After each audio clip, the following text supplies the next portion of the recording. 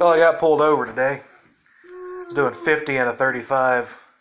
Cop sitting there running speed trap. He walks up to the window, asks for my license, and says, Officer, you got to let me go. I, I've got to get to work. I work at the hospital.